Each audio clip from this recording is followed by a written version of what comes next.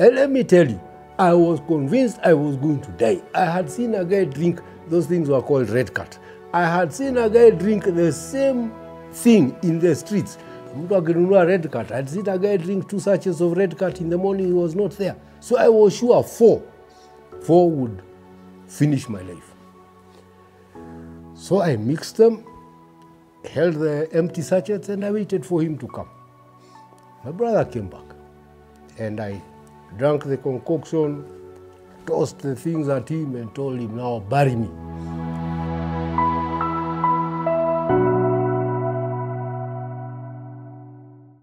This kind of thing that uh, you'll just drink poison and you collapse and die is a creation of the movies. It has nothing to do with real life.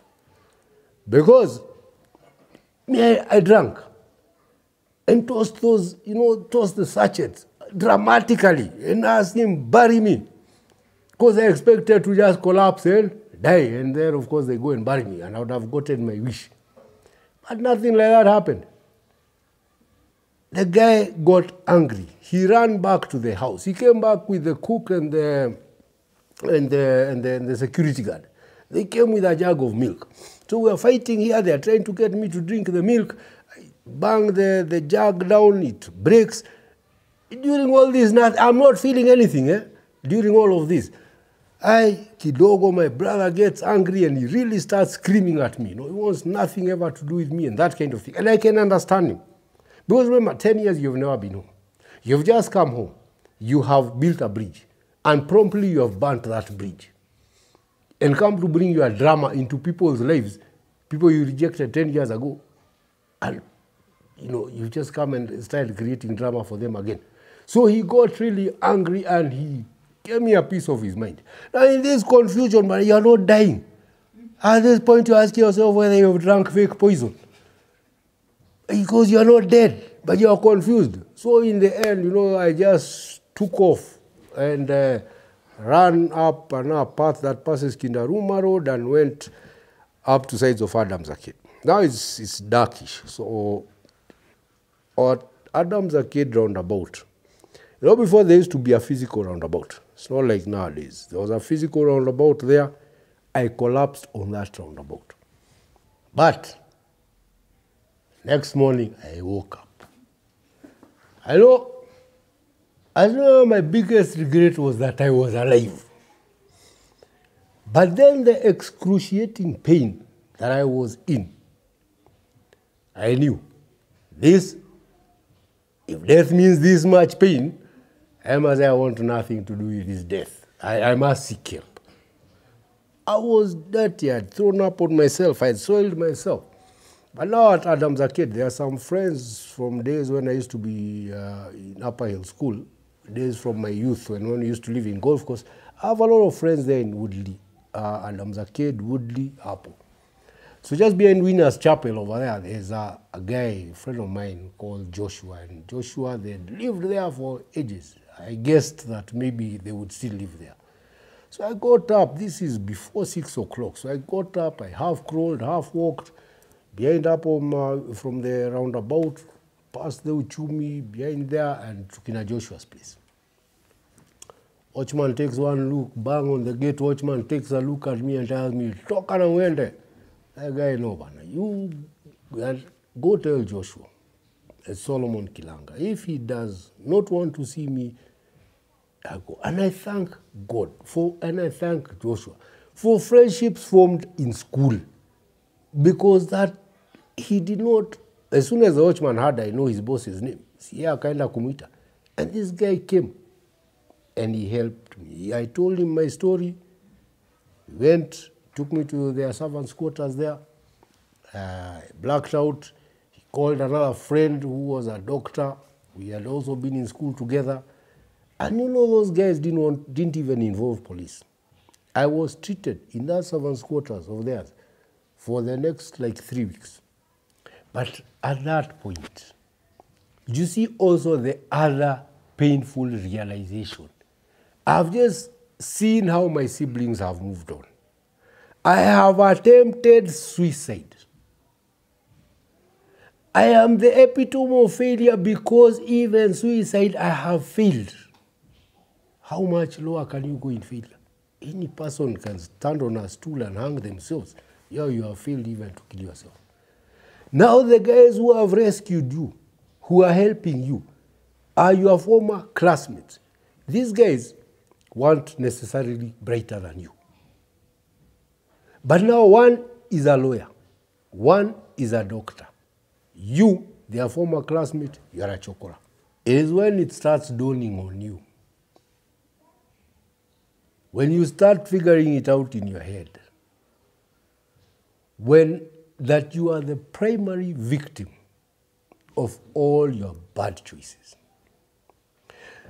That all those that you blamed did not suffer from your bad choices. That all the denial you gave over the years that you didn't have a problem doesn't help you.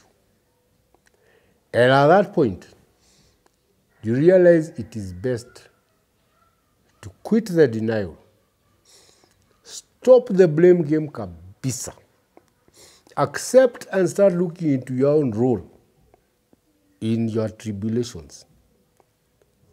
But the thing is this, at that point, nani atakusikia? So once I was okay, I went, they gave me some money, I went back to Isili. We promised that you would keep in touch. Me, I went back to Isili. Long story short, by that was maybe my November, December of 1999. By Jan, by December of 1999, I was back in the streets. So Christmas 99, I was in the streets. I was on a veranda. New Year ya mwaka wa 2000, I was on a veranda. When guys were talking about the millennium bug and all that, those kind of things, I used to hear the chatter around me. But again, you could not even go to a newspaper stand because we ni chokora. I was 34 years on 8th January the year 2000. You are 34 years. You are living in the streets. Wewe ni chokora. Umejaribu kujiua, umeshindwa na hiyo. You have no one and nowhere to turn to. You burnt all your bridges. There is nobody who would want to hear you. Life for you is over. So the only thing you can do is wait for death. In whatever form, it is going to come to you.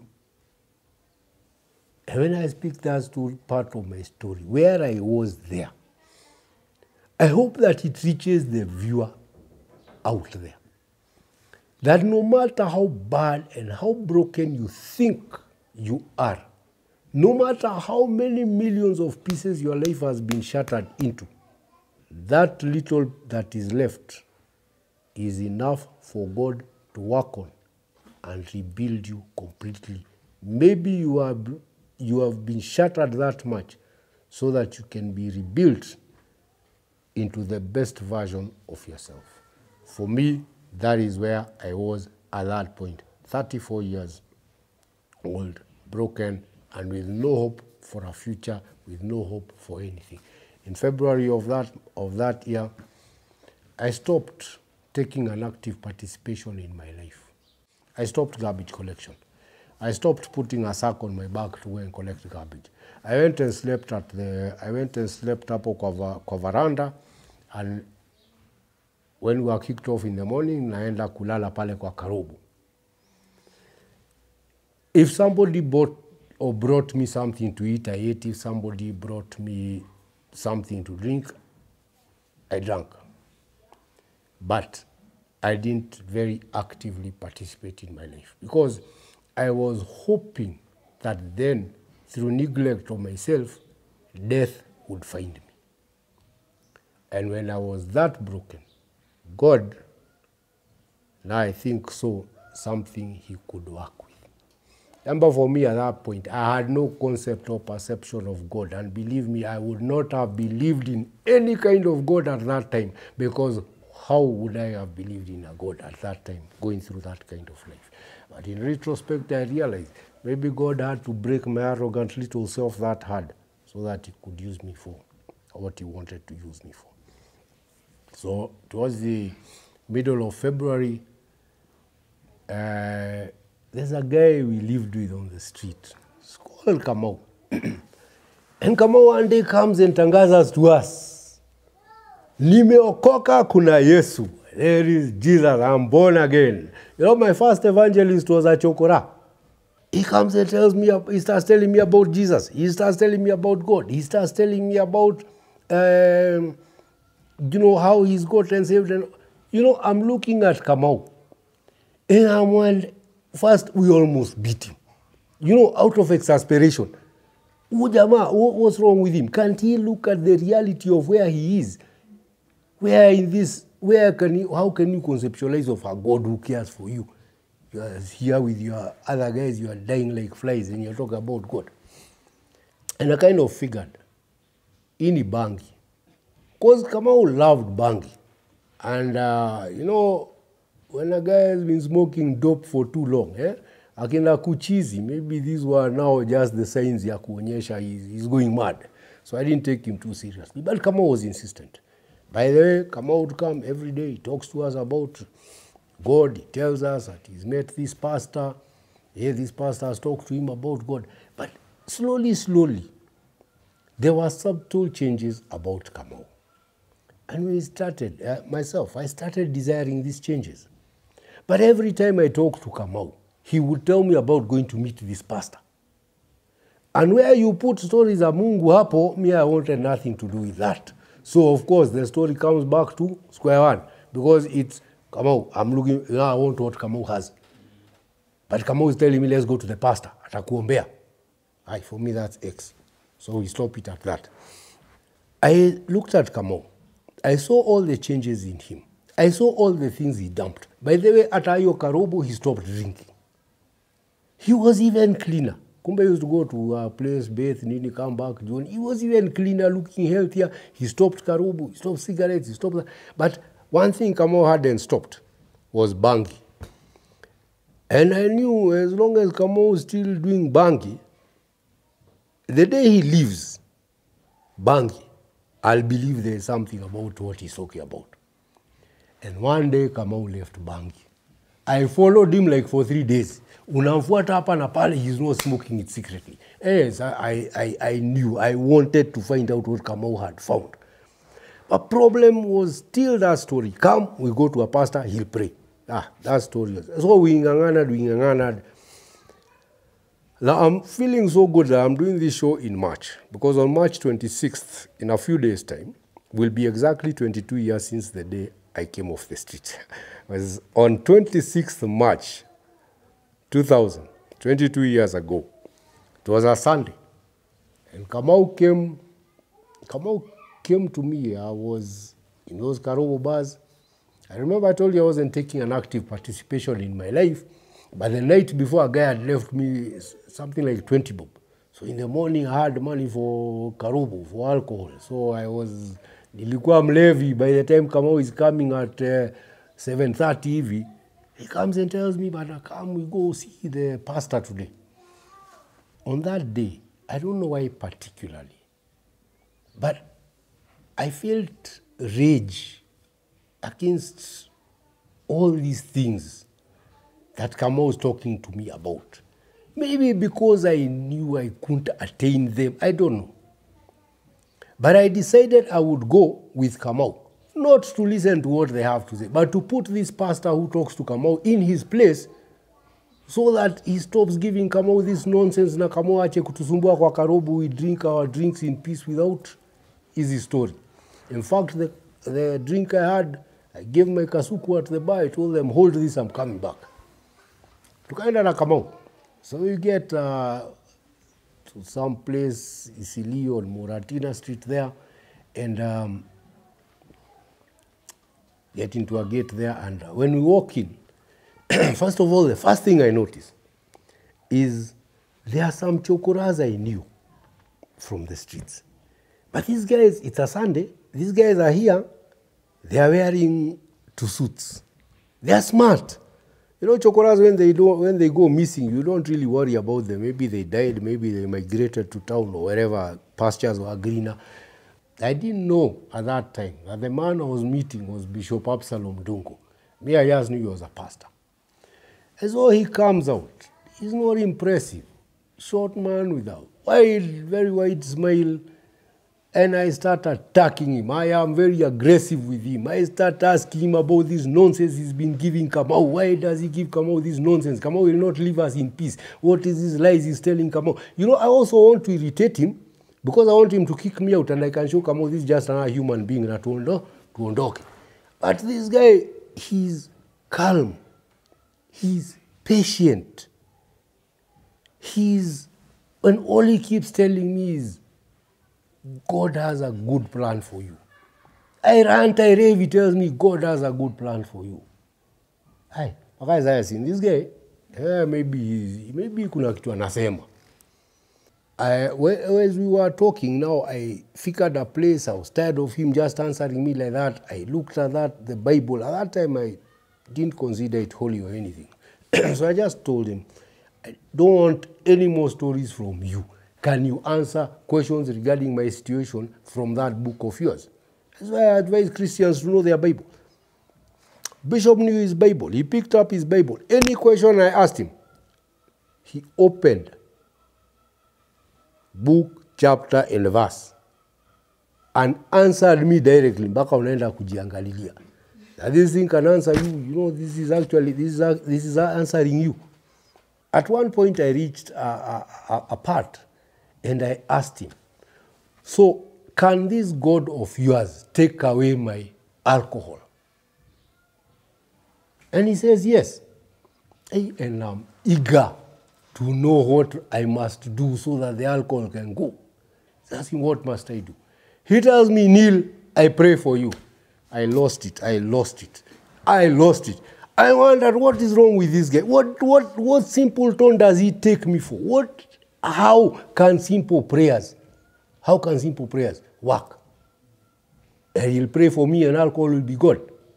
I was so mad, I wanted to walk away. But then again, out of the corner of my eye, I had noticed. Uh, these chokoras I was telling you about who are smartly dressed, they were making some tea there. Hapa wanapika chai ya maziwa. Naona wanapaka blue, mkate blue band. So are delicacies you don't get in the street. So I thought, why not hang around? At least I have breakfast to compensate for the time these guys have wasted of mine. And so when they said, well, we pray for you, I said, okay, fine, let them pray. See, by then that tea will be ready. So, ah, fine, I knelt down. They prayed, and they prayed, and they laid hands, and they spoke in tongues and what.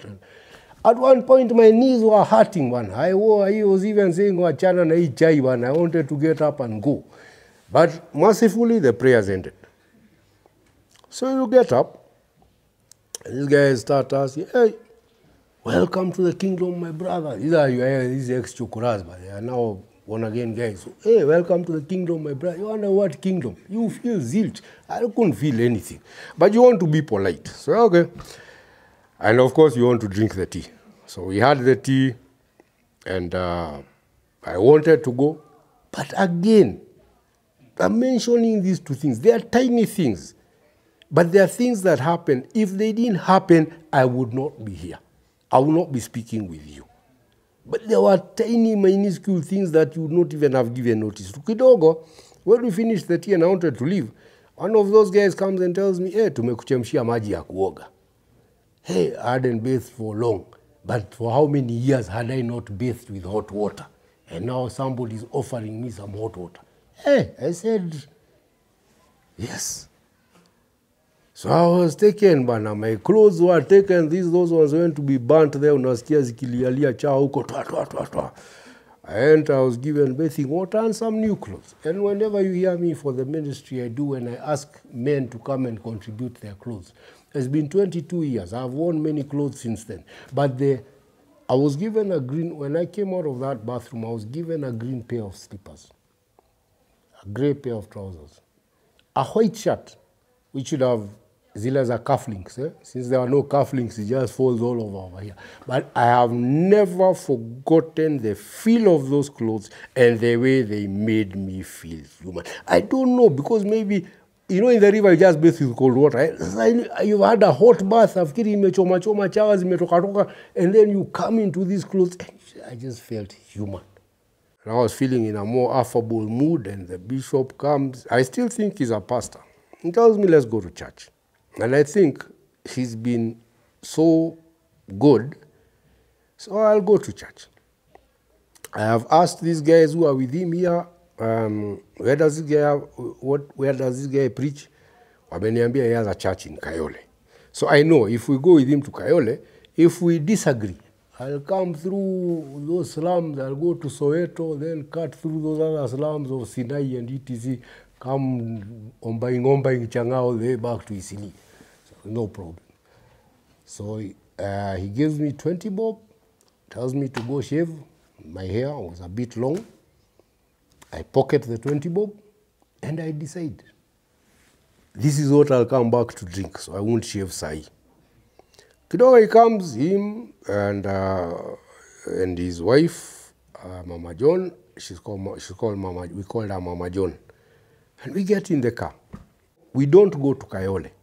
Kidogo mi naona gari imetokea Thika Road. Kidogo si I was told going to. Kidogo guys passing Utalii. Yeah, bathed in hot water that day. I'm looking down to the river where I usually bathe. Tukapita. Hey, vehicle comes, it passes Thika. Now I'm getting a bit worried. Umse ananipeleka wapi? All there till a place called Kabati. Turned off on the left, and then we get to a church. Um, and um, now is when I realize he is not just a pastor. Because I could see the way the people received him, the other pastors. I, you can see the, you know, the man in charge is here. And uh, so tukapelekwa ndani, that's when I knew and I started hearing now him being referred to as bishop. So uh, we get into the church. He goes to sit at the front. Mimi napelekwa pale kwa raia. And uh, I, we, I watch the proceedings. Do you know, my life had become so abnormal that the abnormal seemed normal to me. Because when Bishop got up to speak, he spoke of a guy who had been through so much problems. In his own words, he said, he has come with a man who has been where the rubber meets the road. And then he proceeded to talk about a man going through so much problems. At one time, I almost looked around the church to see who else did he come with. Because me, I couldn't see that these are, these are my problems. Honestly, you've never had your problems explained by somebody else, but you start thinking, this can't be me. And then he called me to the front.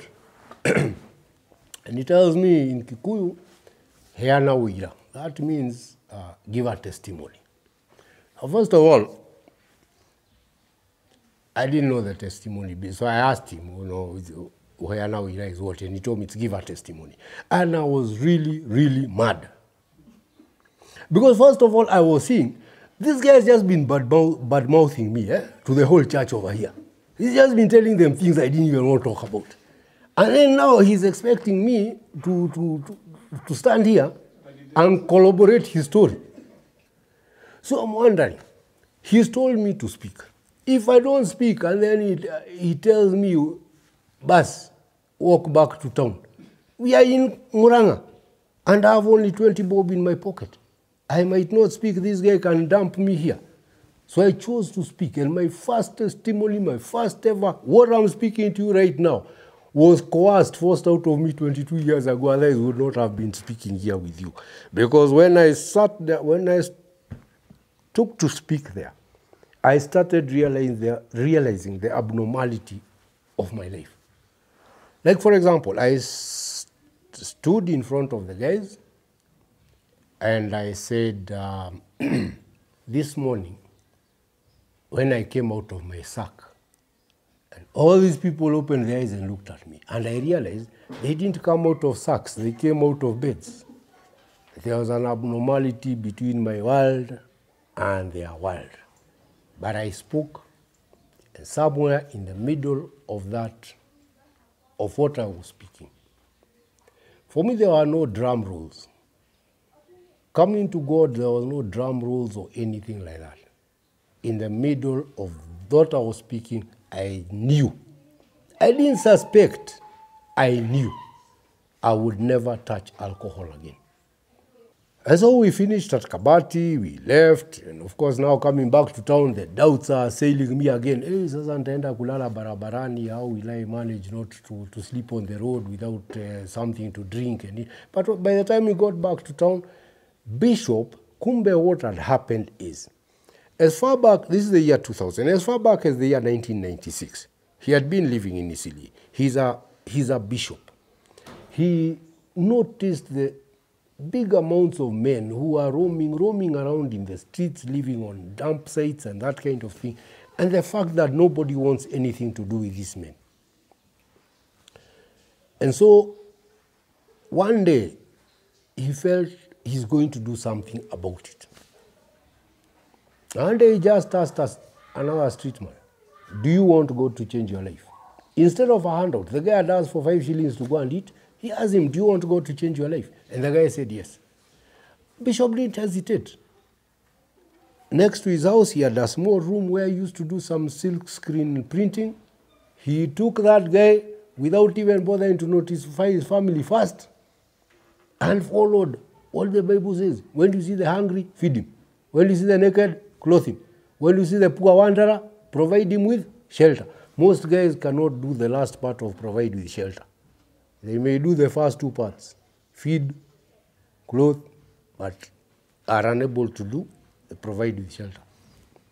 He gave him first water to bathe, food to eat, a place to stay, a roof over his head. But more so, he continuously gave him the word of God. Because where we are and in this work we do, we believe it is only God who can make you as whole as he originally meant for you to be. So he gave him the word of God. Within three months, this guy, the first guy was called Muturi. Within three months, Muturi, you could not believe he had been a chokora.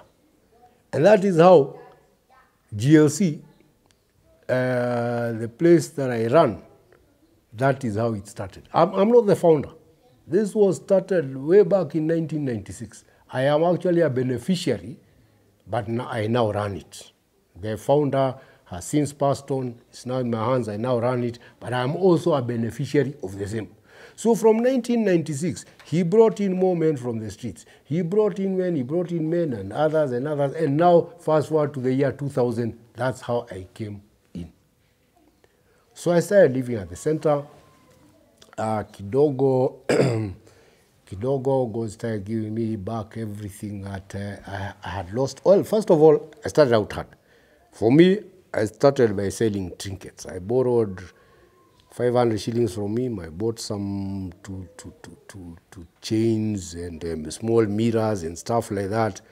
I started hawking, hawking those around. It was more to prove to myself that I could actually have 10 shillings in my pocket and not go to drink. One day I went, it had been in the center for about three months. And I read in the newspapers and I saw a guy that I knew. It's called James Gadhaya. I saw his story in the newspaper. I saw it indicated where his offices were. He was handling some case somewhere. And so I went, he was in Hurlingham, his office was in Hurlingham. This guy, we were classmates in high school. Now he's a big time lawyer. And I went, saw him, and the first thing he asked me is, Hey, Ilanga, where have you been, Bwana? You left the country. I told him the truth, but I didn't leave the country. Yeah, I was in the streets and we talked, and this guy helped me. Uh, he built for me a Catroli. Smokies had just come out. So I started selling, you've seen these two Smokies and what? I started selling that. And a long story, I moved on. I moved on from there, Kidogo, uh, got some funding, started up a butchery. Afterwards, I quit the butchery. I decided I would go because I was helping the bishop also in this work of bringing other street men to the center. Because what I must tell you is, living that life had showed me a life that no human being should live. I could not see how I could come out after living that life somebody had given me a hand up. And then I just leave all those people who are there and who genuinely want to be helped out of that situation. So we were working with the bishop on this, but I was also doing my own things, nijitegemee. Eventually, uh, one time I sold that uh, butchery business, and uh, as as God would have it, it so happened that uh, uh, there was one preacher who had come, and I was told to take him to preach in Kabati, the same Kabati where I first went and gave, gave my first testimony. I was told to take him to preach. This was an American preacher. And we are when we are living there, we start talking. He asks me whether I know about computers. I explain to him I know nothing about. Remember, now this is the year 2001. I am 35 years old. I know nothing about computers. Hizi vitu zilinipita huko kitambo. He tells me, come to my office tomorrow. He tells me where the office is. I turn up the next day. And this guy happens to be the owner of Diamond Systems. Diamond Systems in my 2000, 2000 and something hapo was one of the biggest computer companies in this country. He hands me over to the managing director, tells him it's about October 2001, tells him this guy, mfunze computers, at the end of three months, give him a computer, arudi kazi yake kule rehabilitation. This is God returning to you things. First day I walk in, I meet the guy who is assigned to teach me. I ask him, I'm fascinated. There's a ka arrow, a ka hourglass, this ka thing keeps on going round. Hey, I ask the guy, what's this? Guy looks at me and tells me, you don't know what this is. You'll never know anything about computers. I, guy, I think I thank him for those words because that fired me up to learn all I can about computers. Diamond Systems used to open at 6 in the morning. I used to turn up at 6 in the morning. It used to close at 9. I used to leave at 9 at night. By the end of the year, long story short, when guys were getting a bonus, I was also given a bonus and told to, the next year I was given a job. Worked in Diamond Systems until uh, 2000 and 2002, uh, went on to head the technical department. Um, 2003, by 2003, I met a lady there in Diamond Systems. I had gotten, I married her in 2003, eventually left Diamond Systems, went opened my own computer company in Thika, eventually got into partnership with some guys who were doing Mtumba. One of my partners who were doing computers with was in America and he came across these guys or was friends with these guys who are doing uh, who are involved in the rugs industry. The rugs industry supplies maybe 85% of the stuff they pick to industrial uh, for industrial rugs but that 15% they supply as mtumba here to africa. We joined forces with those guys and uh, they brought Mtumba here. I challenged them to bring Mtumba here. We started selling in Uganda.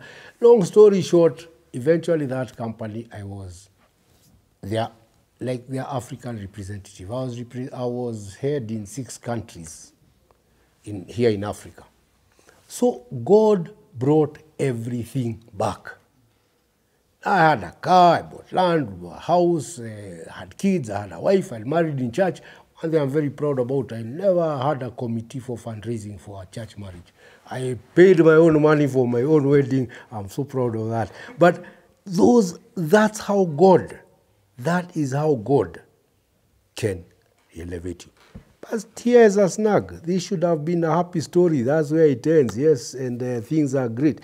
But the problem was, when I came out of this is the problem of addiction. Whatever you are fighting, if you do not deal with your underlying issues, the root cause of your drinking, you will remain in that vicious cycle of addiction. Because when I came out of the streets, remember I'd led a life so horrible that no human being should live that life. God had gotten me out the first, when I came out, I first embraced religion, not God, religion. Why I say I embraced religion is that I allowed myself to do certain things which the Bible does not advocate for. For, for example, forgiveness. For me, that wasn't part of the deal. I'll go to church, I'll clap, I'll dance, I'll tithe, I'll be a good Christian in other ways. But for me, the hate I have, the lack of forgiveness I have, there are some people who have wronged me, those ones I can't forgive. And so I kept my bitterness and some, all my issues, the baggage I had been carrying on certain issues, I kept them inside me. But because also I was a, I'm a man, and I equated success with money. The first few years of my life, getting out of the street, I had to make money. So you want to rebuild yourself. And I spent the first five or six years rebuilding myself. By the sixth year, I had everything. I had no time for negativity anywhere. You know, by the seventh year, when everything looked like all was back in place, seven years after I came off the streets, I walked myself right back into a bar. And I drank like a person possessed. Let's just say those two years of my life are something I would rather just even not remember too much about. But two years later, uh, towards the end of 2009, I went back to this same same center that I ran, and, and then it was under the bishop. I went back, and this time I decided I would find out what is my problem. Why do I drink? And I was able to sit and start introspecting my life thoroughly. And in that introspection, I was able to see certain things from angles of other people that I had not been able to see before. The only problem and my only regret is that by the time I came to my senses, my mother had long died, and I could not go and make my apologies. So, part of why I tell my story is to help people who are out there going through these things, to try to look at these issues, learn to see things from other people's perspectives. People could have done things that were meant to assist you and help you. You, you misread them, and they ended up, you perceived them wrongly, you ended up having problems just because of that. So let's go back. You've had my life from seven years going on. Uh, and it's a pretty flashy life. At seven years, you're in Consolata. You live in Westlands. Uh, what is 87 Rhapta Road today? It was a classy address then. It's still a classy address. Was where I lived. Uh, later on, you go to Nairobi Primary. Nairobi Primary in the 70s was a posh school. Chauffeur driven, the areas you live in, you look well. What does society see from that picture? Society looks and sees I, everything must be perfect there. Chauffeur driven kid, parents are wealthy, nini, nini, nini. But nobody's riding. Nobody's walking in the shoes of that individual, that child, me at that time. Because whatever society saw, and we still see that today. And if a kid goes wrong or gets into experiments with drugs or alcohol or something, we will all say, kwa nini mtoto ako na nini? Huyu mtoto amelipiwa fees, amepelekewa shule za maana, amefanywa, amefanywa, amefanywa. Parents, money doesn't answer everything. So let me go back to my own story. My life is very nice from seven kuendelea. At least what you hear of it. Let me go to zero to seven. I was born to a 14 year old girl. My mother was 14 when she gave birth to me. She had just finished what was then called CAPE, Kenya Advanced Primary Education. She gave birth on January 8th. I think by January 16th or so, she had gone on to high school. I was brought up by my grandmother, and I knew my grandmother as my mother. To me, she was everything. To me, she was she was my mother, my friend. She was she was everything. My grandmother was not rich. she lived in a mud house. We lived in a mud house in the village. And, but the thing is, I think the first six years of my life must, were the happiest years of my life. I remember the muddy slopes we slid down when there was rain. I remember the uh, little black beetles we chased in the rivers, the swimming we went, the, the fairs, catapults we went shooting birds. You know, it was, let me tell you something. A child who is loved, whose belly is full and they feel loved and accepted, they thrive. Kids don't know much about poverty, money, material things. It is adults who bring that nonsense into their world later on. For me, I felt loved. I was a thriving kid. Up to the age of, say, about six and a half or going towards seven. Now, as I lived my life, remember my mother also was living hers. So she went to secondary, went up to Form 4. In those days, they came out and had like two or three jobs waiting for them. So she was not only bright, she was also beautiful. She joined East African Airways as an air hostess. And soon the girl who had been ridiculed for giving birth in the village at a young age was flying the world. And there is where she met Captain Abubakar Kilanga. Short time later, they decided they would get married. And when they decided they would get married, we were told about it in the village. And uh, I even have pictures. We attended, there was a nice wedding. Uh, we attended at the old Mayfair Hotel. I have pictures of myself there at that wedding. but even at that wedding, I had no connection to these people. I did not know this was my mom. To me, my grandmother was my mother. So around just before getting to seven years, uh, they come back. This is after the wedding. Maybe they had gone for a honeymoon or whatever, but they come back. Then one day I'm called and I'm told, uh, this is your mother. Same day I'm told you're going to live with her. So take any almost seven year old kid and forcefully uproot them from where they love and know is home and give them to what they consider a total stranger, you have ruined something in that kid. There was no preparation, no nothing. So if I start tracing my problems back, probably they may have started somewhere around there. This is a kid from the village. I had never spoken a word of English. Even if they had had a word of English in the village, they would probably have translated to my mother tongue Kikuyu. So this is a kid from the village. There is not even an albino in the village, so you have never come across anything that's different from your color. And you are suddenly thrust into Westlands among a white neighborhood. Culture shock, boss.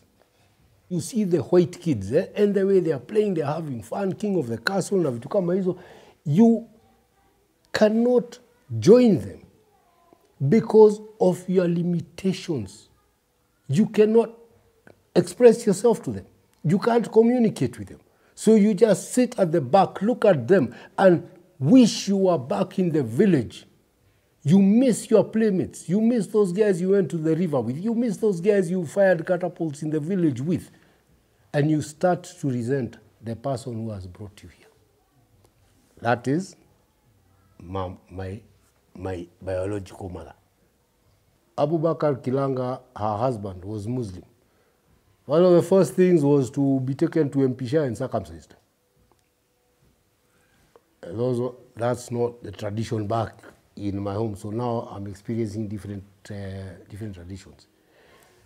As soon as I was healed, it was Consolata Primary. Now this famed Consolata I keep on talking about, I went there without knowing English. There's a whole lot of difference between going to Consolata when you're, when you're a fluid English speaker and going there as a person who doesn't even know the English language.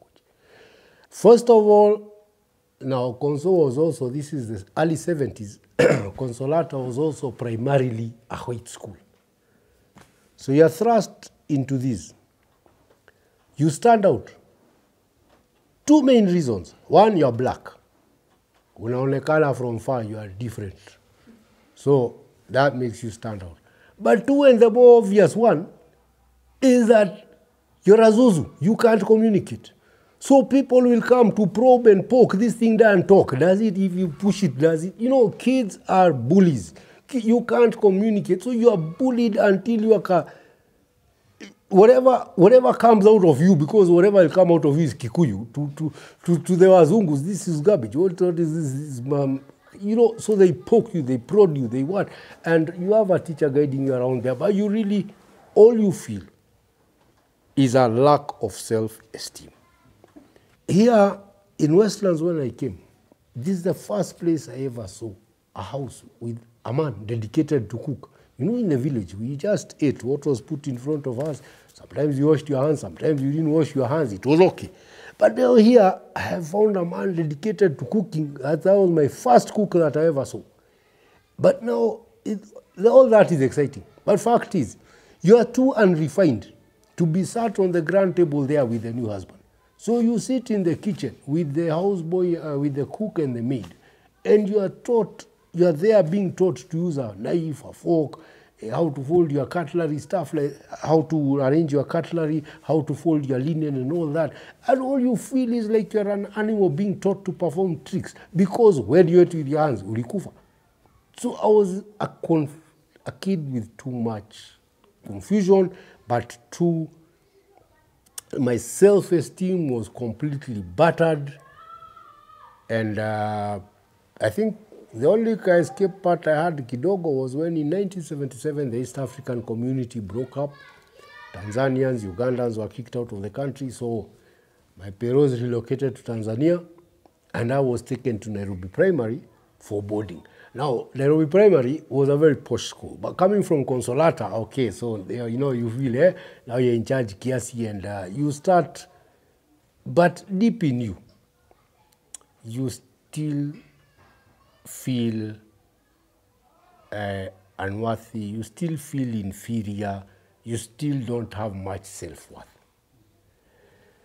And so, when in Standard 7, it was at the same school, we got that opportunity to drink. Remember me telling you what I felt the first time? And then asking you, why would a 13 year old kid feel so empty that they would need a drug or alcohol to make them to make them feel good about themselves. So now you know. That was the reason why.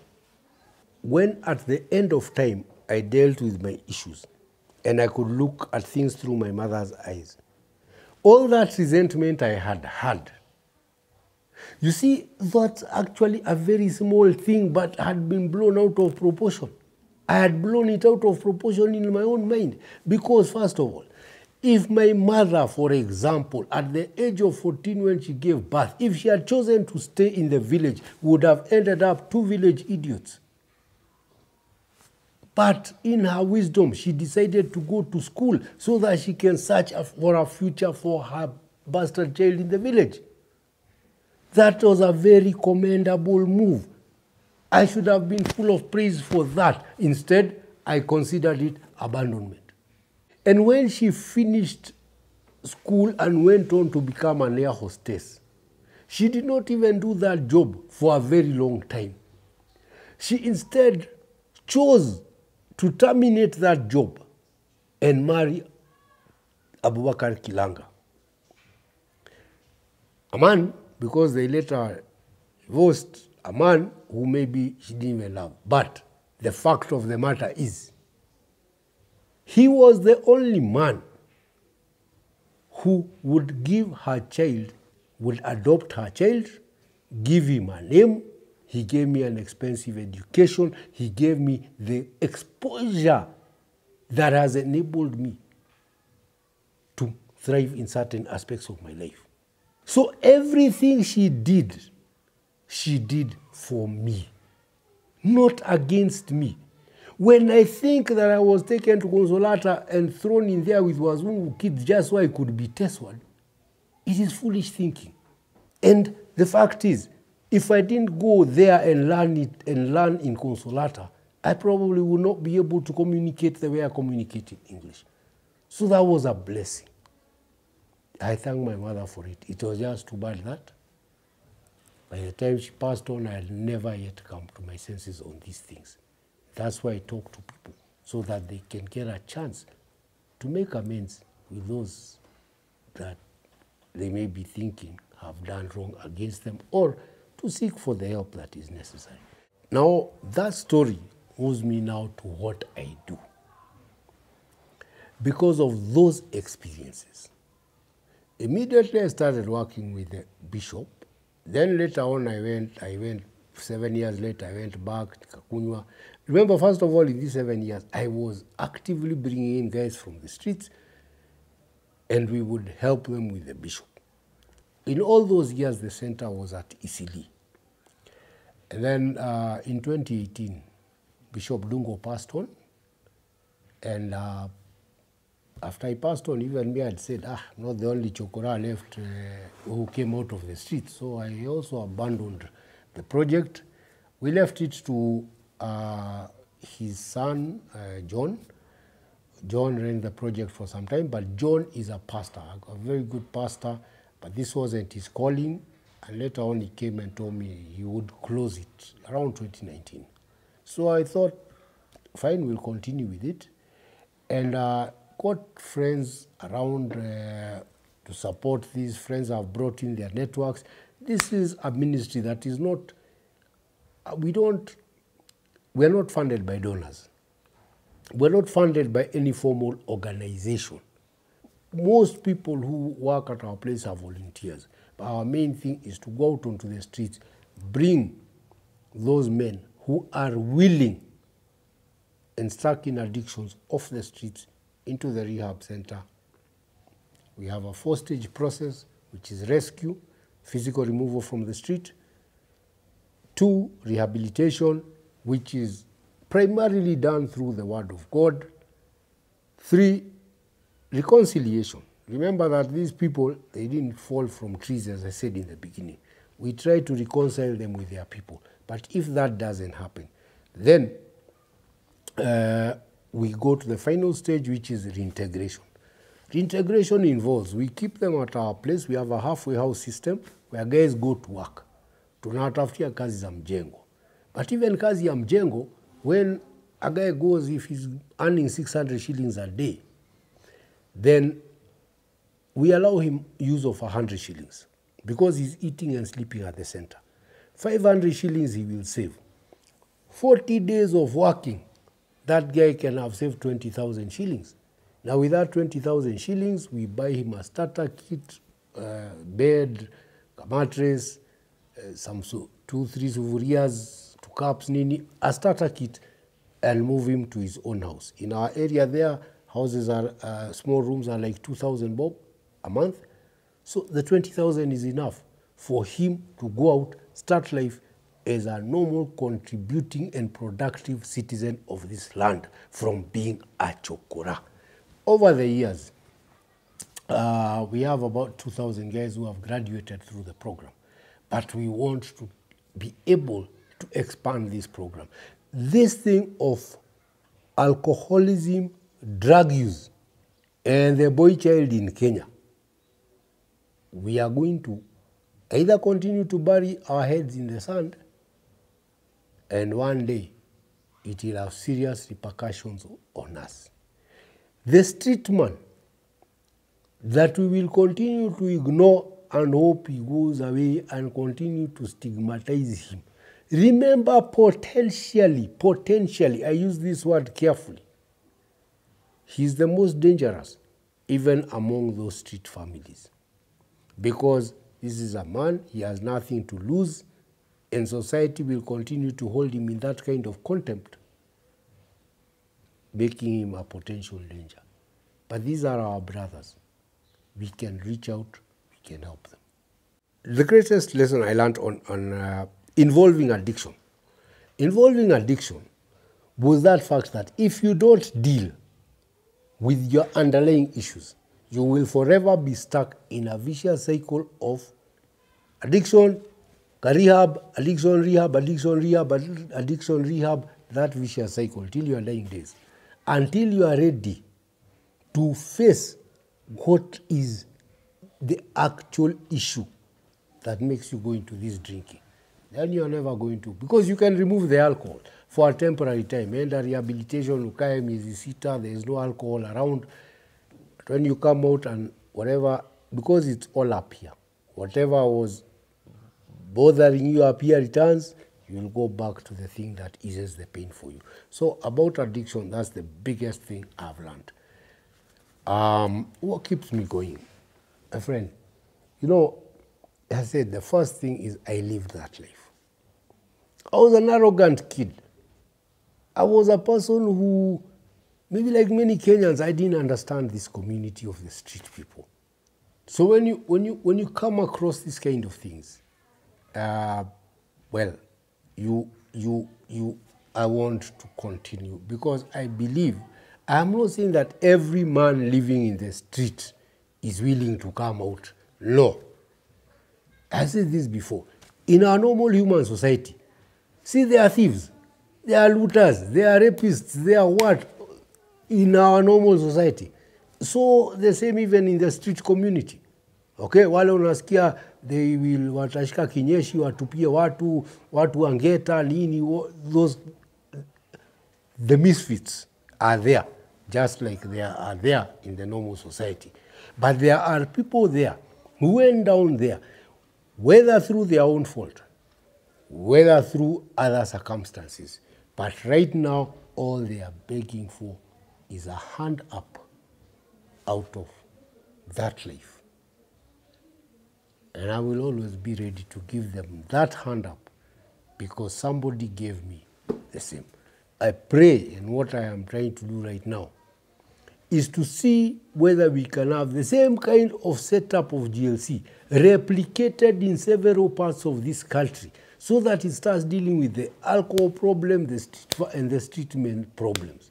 And I'm very intent to leave an impact. By the time I leave, I want to see a lot more of those men in better positions. And we can see the results. We have a lot more of them who are speaking out. We go to churches, we speak to them, we try to demystify this. Uh, we're not just about uh, having that uh, rescue center in, in, in Ruiru. I also go out to schools. I have been to a lot of boys' schools just to speak because the problem is, as men, we, we keep our pain to ourselves we don't uh, let it out. That's the way we've been parented. When wanaume mwanaume waliagi aliagi nini, shut up, suck it up, you're a man, you shouldn't cry. We, we grow up like that. And then when we are under pain and pressure, we cannot let it out. And eventually the pressure bursts and we find ourselves with all this abuse of alcohol, abuse of drugs, and nini. I am trying to talk to get men spaces where they can sit as men and talk. Even at GLC, uh, if you visit there, you'll find there's a place where men just sit. Men from the outside, men who are going through the program, just sit and share. So anybody who would like to assist us, we kindly, we will please uh, come join us. First of all, visit. That, that is the best thing first you can do. If you are within Ruiru, you are within Nairobi, visit. We are just on the eastern bypass. If you want to partner with us, for us to uh, help bring solutions to, our, to this problem, we have a pay bill number through which you can uh, contribute to us. The pay bill number is 891 300. Pay bill number 891 300. The account number is GLC. GLC. You could call me uh, on 0715 874 094 for any inquiry. And um, you could, if you have a group of young men or you have a place you would like uh, somebody to come and speak to people you care about who might be losing it, who might be going down that path, we have, we have a team which goes out and tries to make a difference. All of us, tuungane mikono. This is our wound collectively. Let us be the solutions provider to this problem of ours.